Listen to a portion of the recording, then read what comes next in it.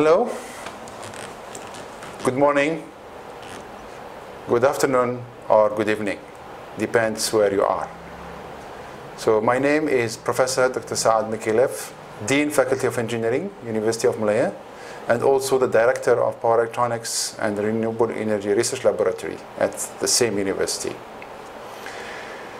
Today, I'm going to share with you on how we, the scientists and the researchers, can help tackle the problem of climate change.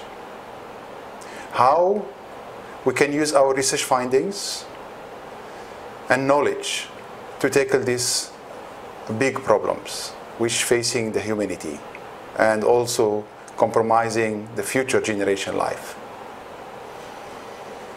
As we know, climate change is a fact and we can see clearly the impact of climate change in our daily life. Before I start sharing with you what we should do, let me share with you the world populations will be 9 billion by 2050, according to the current growth.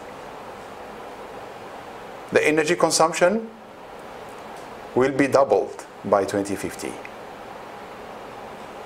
And this is a fact. Our energy daily, our daily energy consumption is increasingly uh, or increasing day after day. You just look into your uh, surroundings and see how many gadgets that requires power or requires electricity to run. I can share you my personal experience. I came from a very small village in North Africa. 40 years ago, in the whole village, we used to have only one single car. And that car used to be for everything to act as an ambulance, to act for emergencies, and so on and so forth. I went back to the same village 40 years later, and I was surprised to see there are village of cars in each house. What does this indicate? This indicates maybe the economic standing of the people has improved. Maybe people are getting wealthier. Maybe the technology have reached everywhere. But if we look at it from the energy point of view, we look at from the energy point of view, the energy consumption per person has increased significantly. Has increased significantly. Means instead of one car in the whole village now we have many cars in each house. Even it's difficult for you to find the parkings, where to park. And as we also proven scientifically, 65% of global warming is due to the energy used and energy generations. Means the way how we use energy, the way how we generate it is not efficient. It's a time to start looking on how to improve these processes. And the effect can be clearly seen. We can we experiencing extreme weather condition. We see sea level rise in many locations around the globe. And in the past 50 years, the world has lost more than 25% of its topsoil and 30% of its forest. At the current emission rate, coral reefs and polar ecosystems will be severely affected by 2050 and it reached to a state where it becomes irreversible. Means whatever we do after that we not change anything.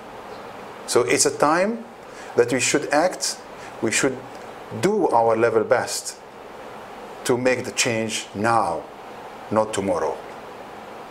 And we, as scientists and researchers, have a major role to play in this. And we have to lead the change. because we don't want our future generations to suffer because of our actions. These effects have been seen on the ground and also on the sea. The sea level, the, the sea level rise, like I mentioned just now, and also the acid level in the oceans and the seas is increasing day after day and year after year. And this will severely impact the marine life. Every morning or evening when we open our TVs, we see floods. We see floods in different areas of the, the globe or different parts of the world where the floods never happened before for the last hundred years. These are signals of the climate change. If we don't see floods, we see drought in many areas where it used to be green places. So these are the, the signs of climate change. And this automatically will impact the people where and how they live. And it will severely impact even the future generations. Also, the earth temperature is increasing and can be seen also clearly this based on the statistics that's been provided by uh, different departments across, across the globe. So what we should do as scientists, as an engineers, we cannot stop the energy demand. We cannot stop the increase of energy demand because the world population is increasing. So the only way is try to make this energy efficient, uh, the energy processes more efficient.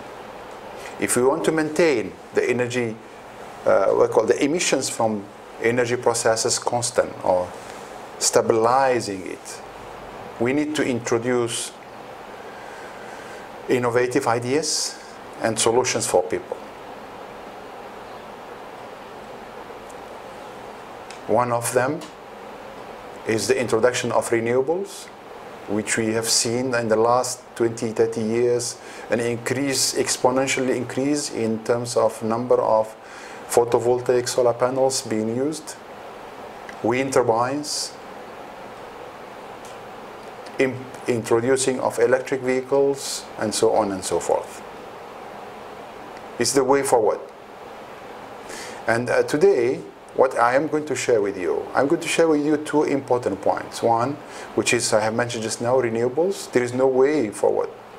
Is just to increase the amount of renewables. And the second part, which is energy conservations. And I would like to quote here the ex-US President Jimmy Carter. He says energy conservation is an act of patriotism.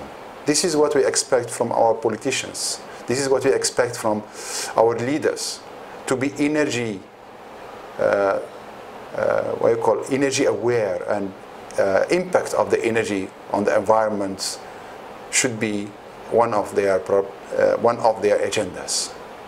As the resources available, it's a huge. If you look into only the sun, the sun actually provides more than 2,850 times what energy we need daily. So if we only take a very small portion or very small percentage of this, it's enough to, to solve our energy crisis or energy issues. Uh, according to statistics, in 2012, the world has consumed more than 20 trillion thousand hours of electricity. And 40% of it, this is just 40% of the total energy consumption or the eh, total energy consumed. 20,000 trillion watt hours of electricity or of energy, which is equivalent to what is generated by 3,000 nuclear power plants. As we know, one nuclear power plant of one gigawatt is able to generate around 7 trillion watt hours per year. So it's equivalent to 3,000 nuclear power plants. So what I'm going to share with you, based on my experience, or based on my expertise as a power electronics engineer, I have been working for this in this area for the last 25 years. And I want to share with you how we can, we as power electronics, can help in solving this energy crisis or global warming or climate change issues. As we know, we, every day we use our appliances and our in our homes, they are full of electrical, electrical appliances. And all of them, they run on electricity. So if we, I just, we start with a simple example. Maybe you start with an air conditioning systems, which are very commonly used nowadays due to the heat. Okay, when you go to the market and try to purchase an air conditioning system, so you have a choice. You have a conventional air conditioning system, and you have an inverter-based air conditioning systems. What is the difference between the two? The main difference is maybe the, the conventional air conditioning system is cheaper. The inverter base maybe is more expensive. But from the energy point of view, the electric, the inverter-based air conditioning systems save between 20 to 30 percent of energy compared to conventional energy systems. So if you if you look at the long term or the return of investments, the inverter-based air conditioning systems is the choice. And if we look into these air, air conditioning systems, which is an inverter-based, the main component of it is an inverter, which is a power electronics. Let's look into another very common example or common appliance that we use daily, which is the light bulbs or the lights. It's estimated that there are more than 50 billion bulbs across the globe. And it's already proven scientifically that if we can, if we can change from the current bulbs to the LED bulbs, we can save almost uh, 20, 20 times. Or the uh, light bulbs, the LED bulbs are 20 times more efficient compared to the conventional bulbs. So only by this we can save a huge amount of energy. It's estimated to be equivalent to more than 450 nuclear power plants. So these are the things that power electronics can introduce and has been introducing and it has been proven that power electronics can help in reducing the emissions. The second component which I'm going to spend some time talking about is our electricity consumption based on statistics between 50 to 60 percent of it is consumed in the industrial sector. That depends on different countries, but globally, almost 50 to 60 percent of electricity is consumed in our industrial sector. It's a time to start giving incentives for industries and also put regulations to introduce high efficient motors and also use variable speed drives and variable frequency drives. And it's already proven that variable speed drives can save up to 30% of energy consumed by these motors. So you just assume 30% of the total 60% of electricity consumed in industrial sectors is almost equivalent to what is generated by 30, 300 nuclear power plants. It's a time to start putting this regulation in place and introduce a change. The second topic which I'm going to share with you is the energy conservation. Energy conservation, it's uh, something very simple. It's something which is almost uh, zero investment cost. We don't need to do anything. but we can save the energy. What is energy conservation? Energy conservation is uh, as simple as use energy as you need. Don't overuse energy or use it just as the minimum level. I just give you an example.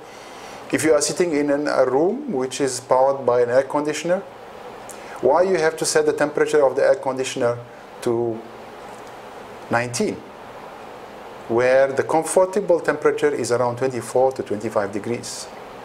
Most of the time we, we set the temperature as 20 degrees and then we go and purchase a jacket to keep us warm. So this is, can be easily done. So this is what I call energy conservation. So when you leave your room or you leave your office, why you leave the light on? You just simply switch it off. When you, for example, you want to purchase some groceries from your nearby shop, why you need to drive? You can just simply walk. That is good for your health and also it will reduce the emissions, it will reduce the number of cars on the road, it makes the environment healthier and so on and so forth. So this is energy conservation. Energy conservation is a way of life, is a way that every one of us have to live with and practice every day. And I always give this example to my students and my colleagues. When we ever walk from a room, walk out from the room, please switch off the lights and switch off the air conditioning systems. Or you switch off your computers. These are the things that we should do. And as I said just now, it does not require any investments or any savings. Maybe with the IoT and the Industrial 4.0 now, things are becoming more automated and more smart. Maybe the introduction of artificial intelligence in our houses and our offices can also help in energy savings. But it's a time to start thinking on practicing energy efficiency measures in our daily life. I hope that my message is very clear. As a power electronics engineer, we have done a lot and we will continue to uh, and innovate ideas and practices and devices to help our environments. Thank you very much.